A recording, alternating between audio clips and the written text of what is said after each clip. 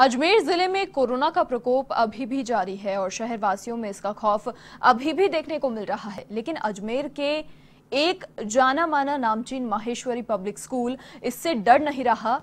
ना ही उसे अपने स्कूल के विद्यार्थियों की जान माल के खतरे का डर सताता है, क्योंकि आज उसने कोविड 19 के नियमों की धज्जियाँ उड़ाते हुए नवी और ग्यारहवीं कक्षा के छात्रों की पूरक परीक्षा का आयोजन करवा दिया। मामला उजागर होने के बाद शिक्षा विभाग और प्रशासन हरकत में आया और शिक्षा विभाग के अधिकारी स्कूल परिसर पर पहुँचे, जहाँ पुलिस को भी बुलाया गया। जब अधिकारी वहाँ पर पहुँचे तो स्कूल प्रशासन हरकत में आया और तुरंत बच्चों की परीक्षा रुकवाकर कक्षा से उन्हें बाहर निकाल दिया गया और घरों की तरफ़ रवाना किया गया। जब एवन टीवी की टीम की ओर से स्कूल प्राचार्य से बात करने की कोशिश की गई तो प्राचार्य ने कहा कि अभिभावकों के दबाव के चलते हमें ये परीक्षा करवानी पड़ी और हमारे पास इस परीक्षा को करवाने की अनुमति भी है।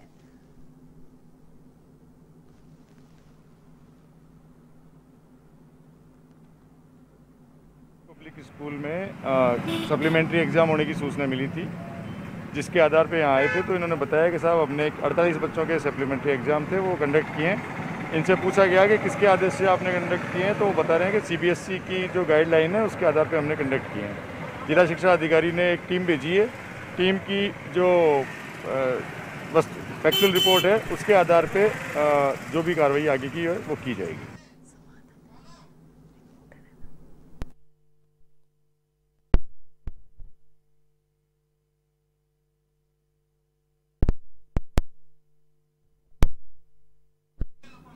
और इसी खबर पर अधिक अपडेट के लिए हमारे संवाददाता नितिन मेहरा फ़िलहाल फ़ोन लाइन पर हमारे साथ जुड़ चुके हैं। नितिन क्या ये पूरा मामला रहा? देखिए आदेश ऐसे कुछ भी नहीं है कि परीक्षाओं का आयोजन करवाया जाए। उसके बावजूद यहाँ पर एक खतरा यहाँ पर उठाया गया। जी बिल्कुल जो अजमेर का जो नामचीन स्कूल है माहेश्वरी पब्लिक स्कूल इसने जो आज कृत्य किया है ये कहीं ना कहीं बच्चों की जान के साथ खिलवाड़ है। क्योंकि कोरोना का कहर अभी भी अजमेर के अंदर जारी है लगातार पॉजिटिव मामले सामने आ रहे हैं। उसके बावजूद परीक्षा को स्कूल को खोलना और परीक्षा आयोजित करवाना कितना बड़ा मामला आप खुद सोच सकते हैं? क्योंकि अभी तक राज्य सरकार के द्वारा स्कूल खोलने को लेकर किसी भी तरह की कोई गाइडलाइन जारी नहीं की गई है। हालाँकि किसी भी बोर्ड की अभी परीक्षाएँ शुरू नहीं हो पाई है उसके बावजूद स्कूल की सप्लीमेंट्री परीक्षा चालू कर देना एक बड़ा ही जुर्म टाइप कह सकते हैं अपन।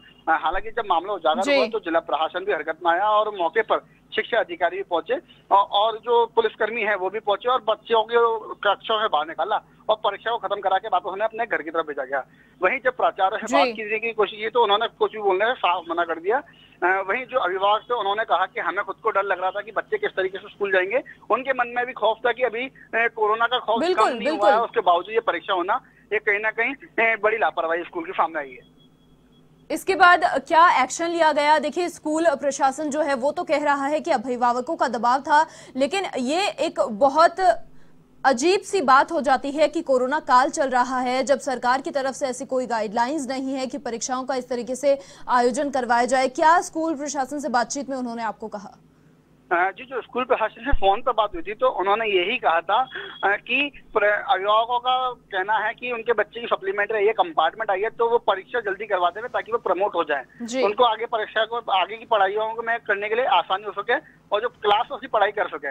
उसी को देखते हुए उन्होंने ये भी बताया कि जब उनसे पूछा गया कि क्या आपके पास परमिशन है तो उन्होंने कहा हाँ हमारे पास परमिशन है। लेकिन जब जिला कलेक्टर से बात की गई तो उन्होंने साफ़ मना कर दिया कि इस तरह की हमारी तरफ़ से कोई परमिशन नहीं दी गई है क्योंकि अभी सरकार की गाइडलाइन नहीं जारी हुई है। बिल्कुल। नितिन, तमाम जानकारी के लिए आपका शुक्रिया। आपको बता दें कि ये पूरा मामला बहुत अजीब सा मामला यहाँ पर सामने आया, जब किसी प्रकार की गाइडलाइंस नहीं है कि इस प्रकार से परीक्षाओं का आयोजन करवाया जाए। एक तरीके से खतरा यहाँ पर मोल लेना था।